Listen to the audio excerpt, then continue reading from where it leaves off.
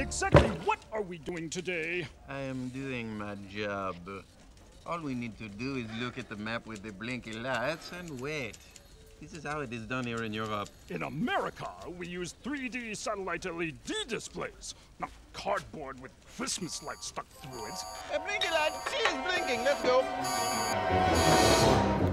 Wh- What is this? A toy? This is my car, Le maximum. It is illegal now in most of the EU for its massive size. It's so needlessly spacious, I feel guilty.